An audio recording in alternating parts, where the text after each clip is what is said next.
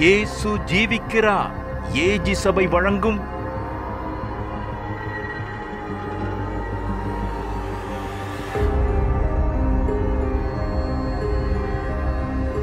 சத்திய வசனங்கள்.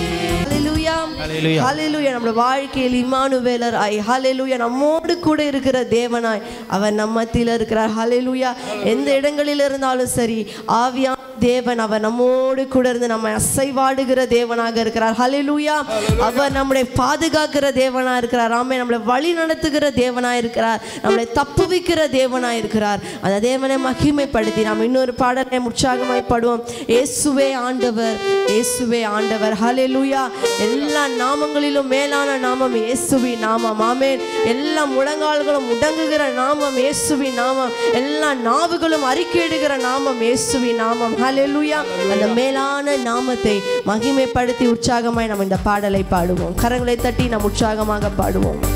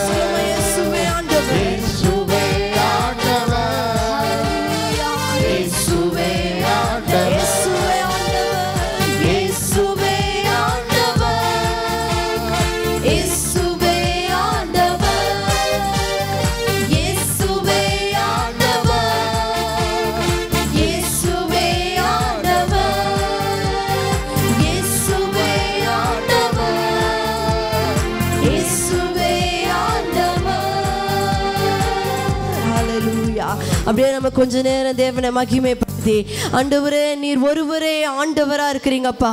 நீங்க சர்வ வல்லமை உள்ள தேவனை நாம் ஆராதித்து கொண்டிருக்கிறோம். இந்த நேரத்துல கூட அவரை உயர்த்தி கொண்டிருக்கிற அவருடைய பிள்ளைகளா இருக்கிற உங்களுடைய வாழ்க்கையில அவர் பெரிய காரியங்களை செய்ய போதுமான தேவனாக இருக்கிறார். அவரால கூடாத காரியம் ஒன்றுமே இல்லை என்று சொல்லப்பட்டிருக்கிறது. அவர் சர்வ வல்லமை உள்ள தேவன். அவர் வாக்கு மாறாத தேவன். அவர் உண்மை உள்ள தேவன். அவர் நீதி உள்ள தேவன். அவரே நம்முடைய ரச்சன்ய கண்மலையாகிய கிறிஸ்து. ஹல்லே லூயா ஆண்டவரே உம்மை துதிக்கிறோம். உம்மை துதிக்கிற நல்ல துதி எங்க வாயில கொடுத்தீங்களே. நன்றி அப்பா. எந்த சூழ்நிலையிலும் உம்மை துதிக்கிற துதி எங்களுக்கு கொடுத்தீங்களே. நன்றி அப்பா. ஒரு விடுதலை எங்களுக்கு கொடுத்திருக்கிறீரே. நன்றி அப்பா. ஆண்டவர் இளைப்பாறுதலையும் சமாதானத்தை எங்களுக்கு கொடுத்திருக்கிறீரே. நன்றி அப்பா ஆண்டவரே எவ்வளவு நல்ல தேவ மலைகள் விலகினாலும் பர்வதங்கள் நிலை பெயர்ந்தாலும் ஆண்டவரே எங்களை விட்டு விலகாத தேவ நீங்கப்பா. எங்களை கைவிடாத தேவ நீங்கப்பா. ஆண்டவரே எங்களோடு கூட வாசம் பண்ணுகிற நல்ல தேவ நீங்கப்பா. ஹalleluya ஹalleluya ஹalleluya ஹalleluya. ஆண்டவரே உம்மை உயர்த்துகிறோம் அப்பா ஆண்டவரே உம்முடைய நாமத்தை நாங்கள் ஸ்தோத்திரிக்கிறோம். என் நாமத்தை பிரஸ்தாபப்படுத்த என்ன ஸ்தானத்திலும் நான் இறங்கி வந்து உங்களை ஆசீர்வதிப்பேன் என்று சொன்ன தேவ நாங்க எந்த இடத்திலிருந்து உண்மை துதித்தாலும் எந்த நிலைமையிலிருந்து உண்மை நாங்கள் ஆண்டவரை ஆராதித்தாலும் அந்த இடத்துல இறங்கி வந்து எங்களை விடுவிக்கிற தேவன் நீங்கப்பா. எங்களை ஆசீர்வதிக்கிற தேவன் நீங்கப்பா. எங்களை சுகப்படுத்துகிற தேவன் எங்களை பலப்படுத்துகிற தேவன் எங்களுக்கு சகாயம் பண்ணுகிற தேவன்.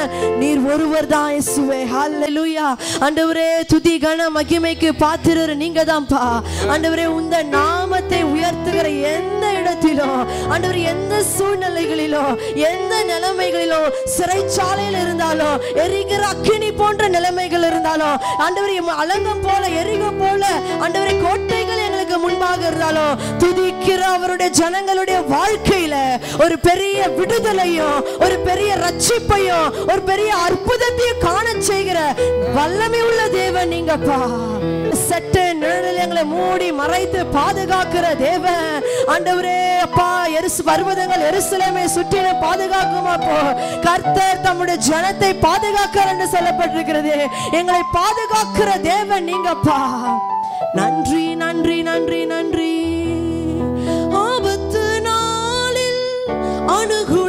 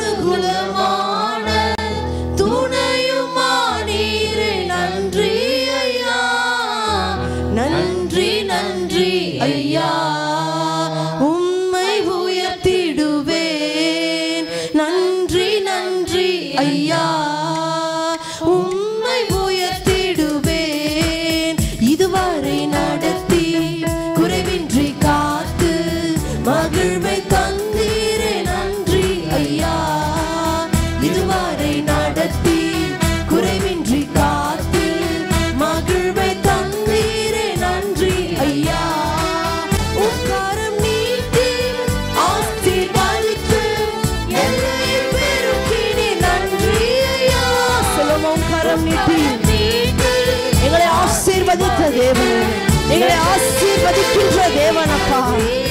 அல்ல நன்றி நன்றி நன்றி. ஐயா உம்மை உயர்த்திடுவே சந்தோஷமாய் தேவனை நோக்கி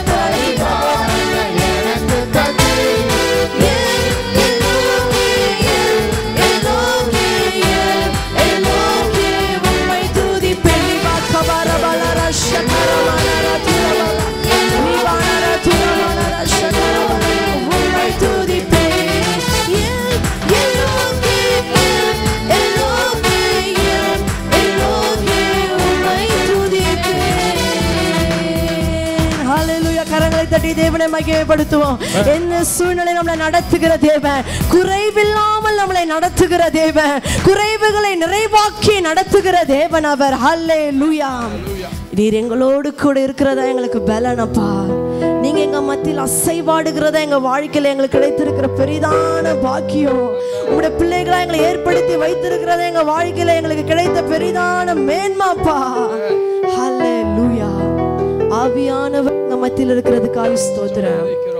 ஆராதித்த இந்த வேலையில எங்களுக்குள்ள சந்தோஷத்தையும் மகிழ்ச்சியையும் இலைப்பாறுதலையும் ஆசீர்வாதத்தையும் எங்களுக்கு கொடுத்திருக்கிறதுக்காக நன்றி அப்பா. உங்க பிரசன்னம் எங்க மத்தியில் இருக்கிறதுக்காக ஸ்தோத்திரம். ஆவியானவர் எங்கே? அங்க விடுதலை உண்டுன்னு சொன்னது போல ஒரு விடுதலையை எங்க வாழ்க்கையில பெற்றுக்கொள்ள உதவி செய்ததுக்காக நன்றி அப்பா. தொடர்ந்து நீர் எங்களை ஆளுகை செய்யுங்க. எங்களோடு பேசுங்க பெரிய காரியங்களை செய்யுங்க. உடைய கரத்தில் எங்களை முற்றிலுமாய் தாழ்த்தி அர்ப்பணிக்கிறோம். எல்லா துதியும் கனமும் மகிமையும் கர்த்தராகிய இயேசு கிறிஸ்துவும் ஒருவருக்கே நாங்கள் செலுத்துகிறோம். எல்லாவற்றும் கருத்தில் ஒப்பு கொடுக்கிறோம். இயேசுவின் மூலம் ஜெபிக்கிறோம். எங்கள் ஜீவனுள்ள நல்ல பிதாவே. ஆமென்.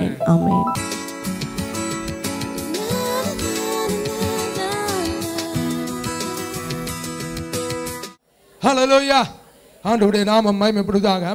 ஹலோ லோய்யா இன்றைக்கு நம்ம பார்க்க போகிற தலைப்பு தெய்வீக சுகத்தை குறித்து நாம் பார்க்க போகிறோம். ஆமென். ஹalleluya ஆண்டவர் இன்றைக்கு நம்ம ஒவ்வொருவருக்கும் சுகத்தை தர விரும்புகிறார். ஆமென். ஹalleluya ஒவ்வொருவருக்கும் ஆண்டவர் அவருடைய பலத்தை தர விரும்புகிறார்.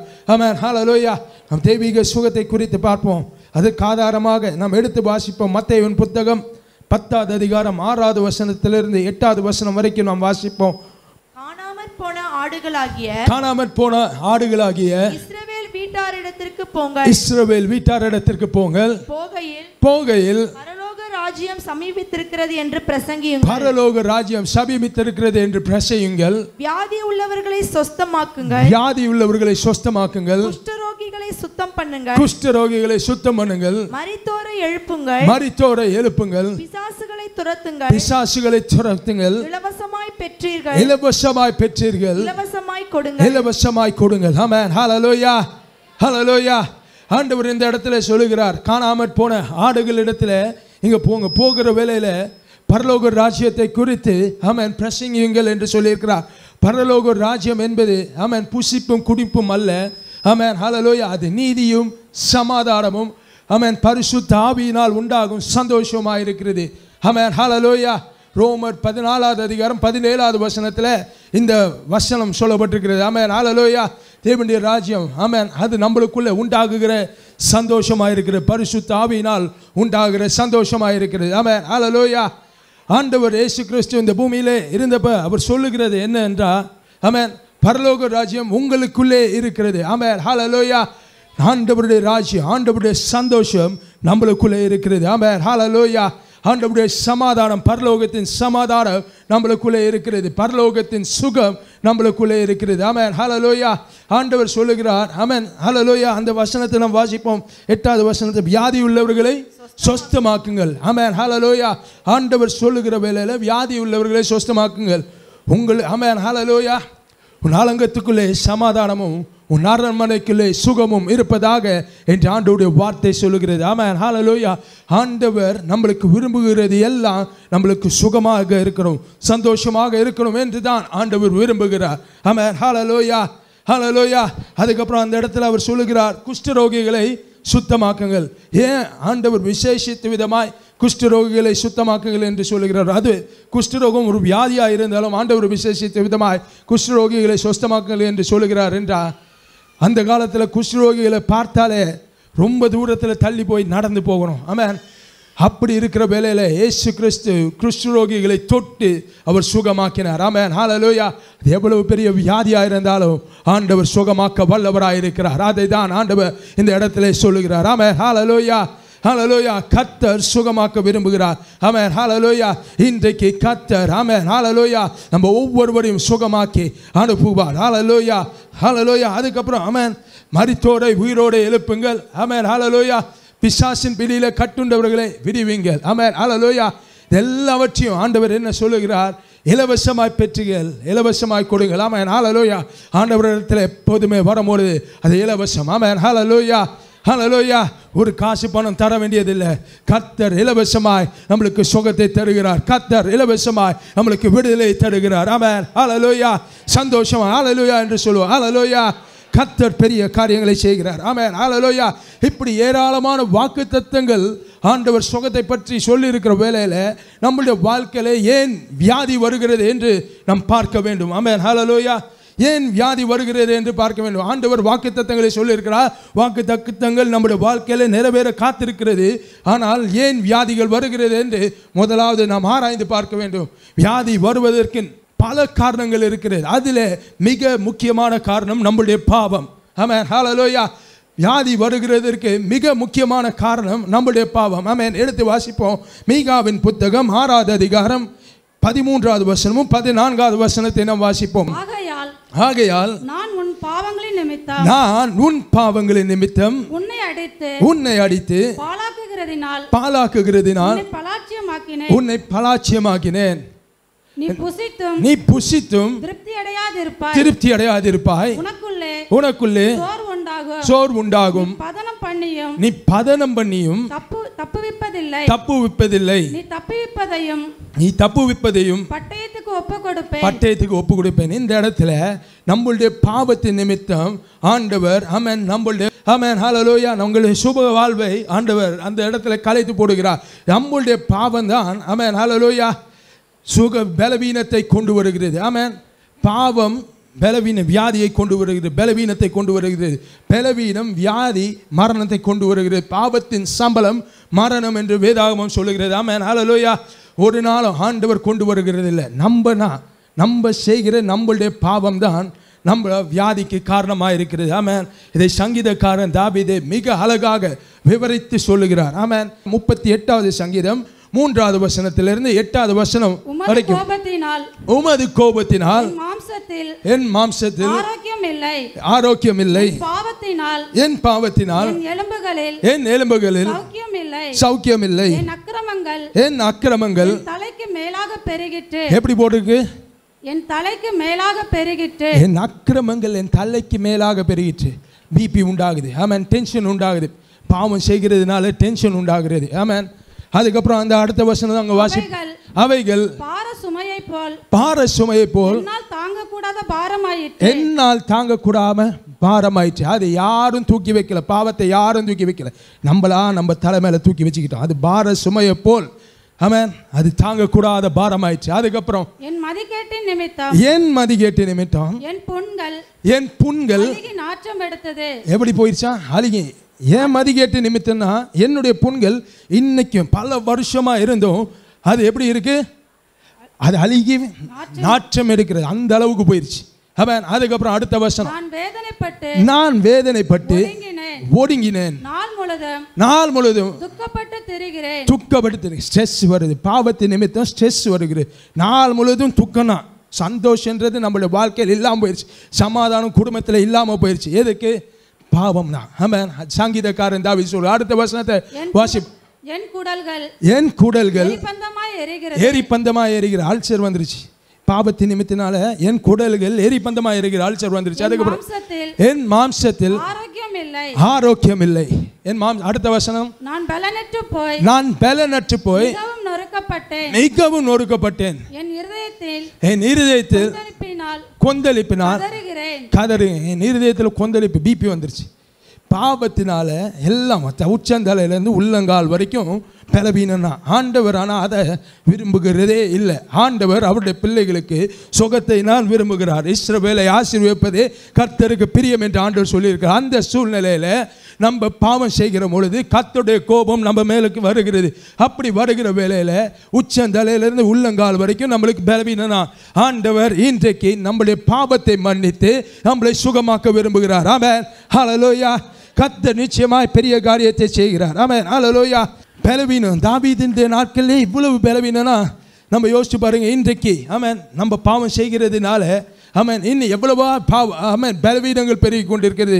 ஆமாம் விஞ்ஞானிகள் என்ன சொல்லுகிறார்கள் என்றால் மொபைலை இப்படி பார்த்து கொண்டே இருக்கிறதுனால இன்னும் ஒரு பத்து வருஷத்தில் ஆமேன் எல்லா டாக்டர்ஸ் கிட்ட போகிறது கழுத்து வலியோட ஆமேன் அப்படின்னா போவார்கள் என்று விஞ்ஞானிகள் சொல்லி கொண்டிருக்கார். இது எல்லாம் உலகம் அறிந்த உண்மை. இப்படி பாவத்தினால முழுவதும் வியாதிகள் பெருகி கொண்டே இருக்கிறது. அனுதினமும் ஒரு புதிய வியாதி வருகிற புதிய பேர் கேள்விப்படுகிறோம் எல்லாம். ஆனால் நம்ம பாவத்தை விட்டு ஆண்டவரிடத்தில் மனம் தரும் மனம் திரும்பும் பொழுது ஆண்டவர் அதை இலவசமாய் சுகத்தை இலவசமாய் நம்மளுக்கு தருகிறார். ஆமாம் ஹலலோயா ஹலலோயா யார் வியாதியை கொண்டு வருகிறார்? பாவம் தான் வியாதியை கொண்டு வருகிறது என்று நம்ம பார்த்தோம். பாவம் தான் வியாதிக்கு காரணம் என்று பார்த்தோம். யார் வியாதியை கொண்டு வருகிறார்? நிறைய நேரத்தில் நம்ம சொல்லுகிறோம் பிசாசு என்னை பாவம் செய்ய வச்சுட்டான் பிரதர் ஒரு நாளும் பிசாசு பாவம் செய்ய வைக்கல. அமன் பிசாசு தூண்டுகிறான் நம்ம பாவம் செய்கிறோம். ஆமென் ஹலோயா பிசாசு தூண்டுகிறான். ஏவாளை தூண்டினான் ஆசை காட்டினான் ஆசை மூற்ற வார்த்தைகளை பேசினான். ஏவாள் பாவம் செய்தால் ஆமான் ஆதாம் பாவம் செய்தான். அதே போல் நம்ம பாவம் செய்கிறோம். ஆமென் ஹalleluya நம்பனா நம்மளுடைய பாவத்திற்கு ஆமென் காரணமாக இருக்கிறோம். ஆமென் பிசாசு காரணமாக முடியாது. பிசாசு மேலே நம்ம பழிய போட முடியாது. ஆமென் ஹalleluya பிசாசு அந்த பாவத்தை வைத்து அதை அட்வான்டேஜாக அதை பயன்படுத்தி கொண்டு நம்மளுக்கு வியாதியை கொண்டு வருகிறான். ஆமென். ஹalleluya லூக்காவின் புத்தகம் பதிமூன்றாவது அதிகாரம் பதினொன்றை நாம் வாசிப்போம். அப்பொழுது அப்பொழுது பதினெட்டு வருஷமாய் பதினெட்டு வருஷமாய் பலவீனப்படுத்தும் ஆவியை கொண்ட பலவீனப்படுத்துகிற ஆவியை கொண்ட ஒரு ஸ்திரீ அங்கே இருந்தால் அவள் எவ்வளவும் நிமிரக்கூடாத. அவள் எவ்வளவும் நிமரக்கூடாது. கூனியா இருந்தார் பதினெட்டு வருஷம் ஒரே பிசாசு கட்டி வைத்திருந்தது. ஆமேன். ஹலலோயா நம் பாவத்து நிமித்தம் அந்த ஸ்ரீ ஆமென். ஹலலோயா பிசாசினால் கட்டப்பட்டு பதினெட்டு வருஷம் யாரும் சுகம் தர முடியாத நிலைமை. ஏசு ஆமென். விடுதலை தருகிற தேவனாக இருக்கிறார். அது எவ்வளவு பெரிய வியாதியாக இருந்தாலும் அது எவ்வளவு காலமாக இருந்தாலும் ஏசு அதை சுகமாக்க அவர் வல்லவராக இருக்கிறார். ஆமென். ஹலலோயா ஹலலோயா பதினெட்டு வருஷம் ஆமென் ஹalleluya. இன்றைக்கு நிறைய நாட்களில் ஆமென் ஹalleluya. நம்ம வியாதியினால கஷ்டப்படுகிறோமா? இன்றைக்கு ஒரு நற்செய்தி உண்டு. ஏசு சுகமாக்க வல்லவராக இருக்கிறார். ஆமென் ஹalleluya. கரங்களை தட்டி நம் ஆண்டவருடைய நாமத்தை நாம் மகிமைப்படுத்துவோம். ஆமென் ஹalleluya. ஹalleluya. மத்தேயுவின் புத்தகம் பன்னிரெண்டாவது அதிகாரம் இருபத்தி ரெண்டாவது வசனத்தை நாம் வாசிப்போம். அப்பொழுது பிசாசு பிடித்த குருடனும் ஊமையுமான ஒருவன் அவரிடத்தில் கொண்டு வரப்பட்டான் அவரிடத்தில் கொண்டு வரப்பட்டான் குருடும் ஊமையுமானவன். பேசவும் காணவும் தக்கதாக. பேசவும் காணவும் தக்கதாக. அவனை சொஸ்தமாக்கினார். ஆமென் ஹalleluya ஹalleluya இந்த இடத்துல ஒரே பிசாசு ஆனா ரெண்டு வியாதிகள். ஆமென் ஹalleluya ஒரு பிசாசு போதும். நம்ம உடம்பு முழுசையும் ஊரு கழிக்கிறதுக்கு ஆமென் ஆனால் ஆண்டவர் ஆமென் ஹலலோயா பிசாசின் கிரியைகளை அழிக்க ஆண்டவர் ஆமென் இந்த உலகத்திலே தோன்றினார் ஆமென் ஹலலோயா கத்தர் நிச்சயமாய் பெரிய காரியத்தை செய்ய போகிறார். ஹலலோயா இன்றைக்கு கத்தர் நம்முடைய மத்தியில் இருக்கிறார். ஆமென் கத்தர் நிச்சயமாய் ஒரு பெரிய காரியத்தை அவர் செய்ய போகிறார். ஆமென் ஹலலோயா ஹலலோயா பாவதாம் வியாதிக்கு காரணம் என்று நம்ம அறிந்துட்டோம். பிசாசு நம் வியாதியை கொண்டு வருகிறான் என்று பார்த்தோம். இப்பொழுது நம்ம வியாதியிலிருந்து சுகமாகிறதுக்கு நம்ம என்ன செய்யணும்? வியாதியிலிருந்து நம்ம சுகமாகிறதுக்கு சங்கீதம் நாற்பத்தி ஓராவது அதிகாரம் நான்காவது வசனத்தை நாம் கத்தாவே என்மேல் என் மேல் இரக்கமாயிரும். உமக்கு விரோதமாய் பாவம் செய்து உமக்கு விரோதமாய் பாவம் செய்தேன். என் ஆத்துமாவை குணமாக்கும். என் ஆத்மாவை குணமாக்கும். என்று நான் சொன்னேன். என்று நான் சொன்னேன். ஆமென். ஹalleluya. நம்முடைய பாவத்தை நாம் அறிக்கை செய்யணும். ஆமென். ஹalleluya. நம்முடைய பாவத்தை நாம் ஆண்டவரிடத்தில் அறிக்கை செய்யும் பொழுது அறிக்கை செய்து ஆண்டவரே என்னை குணமாக்கும் என்று நம்ம கேட்கும் பொழுது கர்த்தர் நம்மளுக்கு சுகத்தை தருகிறார். ஆமென். ஹalleluya.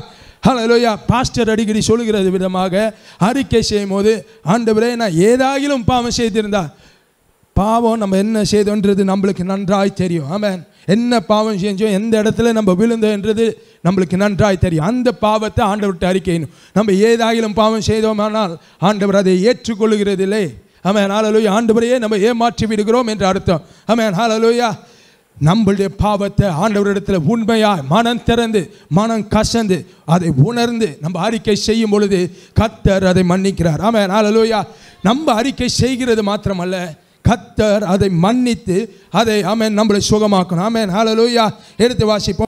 சங்கீதம் நூற்றி மூன்று. மூன்று உன் அக்கிரமங்களை எல்லாம் மன்னித்து அவர் என் அக்கிரமங்களை எல்லாம் மன்னித்து உன் நோய்களை எல்லாம் குணமாக்கி உன் நோய்களை எல்லாம் குணமாக்கி ஆண்டவர் மன்னிக்கணும். நம்ம ஆமென். ஹalleluya அம் என்னதான் நம்ம அறிக்கை செய்தாலும் அவர் மன்னிக்கணும். ஆமென். ஹalleluya இந்த உலகத்தில் பாவத்தை மன்னிப்பதற்கு இயேசு கிறிஸ்து ஒருவருக்கே அதிகாரம் இருக்கிறது. ஆமென். ஹalleluya ஆமென். ஹalleluya நம்ம வியாதிகளை குணமாக்க இயேசு கிறிஸ்து ஒருவருக்கே வல்லமை இருக்கிறது. ஆமென். ஹalleluya இயேசு கிறிஸ்துனா வியாதிக்கு அமேன் விடுதலை. ஏசு கிறிஸ்துனா பாவத்துக்கு அமேன் விமோச்சனம் அமேன் ஹalleluya ஏசு கிறிஸ்துவை தவிர வேறு யாரும் அமேன் நம்மளை விடுவிக்க முடியாது. அமேன் ஏசு கிறிஸ்து நம்மளை விடுவிக்க வல்லவராக இருக்கிறார். அமேன் ஹalleluya எடுத்து வாசிப்போம் மார்க்கின் புத்தகம் மார்க்கிஸ் எழுதின சுவிசேஷம் ரெண்டாவது அதிகாரம் ஐந்தாவது வசனத்தை நம்ம இயேசு அவர்கள் விசுவாசத்தை கண்டு இயேசு அவர்கள் விசுவாசத்தை கண்டு திமிர்வாதக்காரனை நோக்கி திமிர்வாதக்காரனை நோக்கி மகனே மகனே உன் பாவங்கள் உனக்கு மன்னிக்கப்பட்டது என்றார். உன் பாவங்கள் உனக்கு மன்னிக்கப்பட்டது என்றார். ஆமென். ஹalleluya. இந்த இடத்துல மிக முக்கியமான ஒரு வார்த்தையை நம்ம பார்க்கிறோம். ஆமென். ஹalleluya. இயேசு அவர்கள் விசுவாசத்தை கண்டு. ஆமென். ஹalleluya.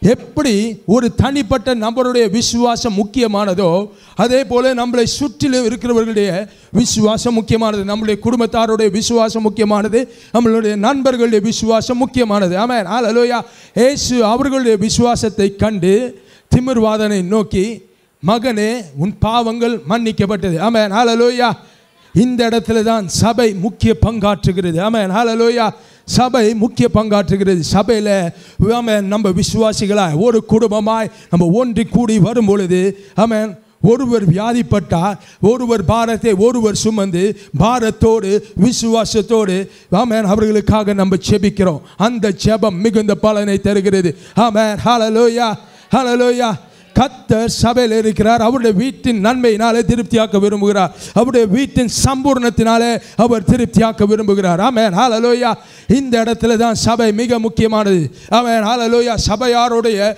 ஊக்கமான ஜெபம் மிகுந்த பலனை தரும் என்று பார்க்கிறோம். ஆமென். ஹாலலோயா ஹலலோயா சபையாரோட ஜெபம் முக்கியம். ஆமென். ஹாலலோயா சபைக்கு வருகிறது அம்மன் மிக முக்கியமானது. ஆமென். ஹாலலோயா என்னுடைய அண்ணனுக்கு கூட என்னுடைய அண்ணனை அண்ணனுடைய வாழ்க்கையில் நடந்த ஒரு சம்பவத்தை நான் இந்த இடத்துல நான் சாட்சியாக நான் சொல்ல விரும்புகிறேன்.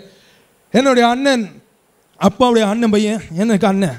அம்மன் ஹலோ லோயா அவர் என்ன பண்ணாருன்னா அவருடைய ஒய்ஃபும் அவருடைய பிள்ளை பிள்ளை பிறந்திருக்கு பிள்ளை புதுசாக பிறந்திருக்கு. அவருடைய ஒய்ஃப் ரெண்டு பேருமே உடம்பு சரியில்லாமல் ஆஸ்பத்திரியில் அட்மிட் பண்ணியிருக்காங்க. டாக்டர்ஸ் அவங்க ரெண்டு பேருமே இறந்து போயிடுவார்கள் என்று சொல்லியிருக்கிறாங்க.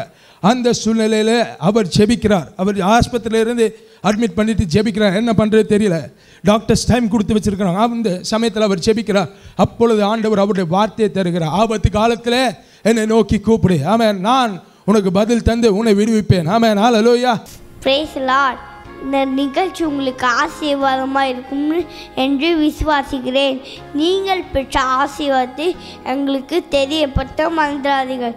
உங்கள் ஜப தேவைகள் எங்களுக்கு தெரியப்படுத்துங்கள். நாங்கள் உங்களுக்காக ஜெபிக்கிறோம். இந்த நிகழ்ச்சியை தொடர்ந்து பார்க்க Jesus lives AG church Anakaputhur என்ற யூடியூப் சேனலை சப்ஸ்கிரைப் பண்ணுங்கள் ப்ரைஸ்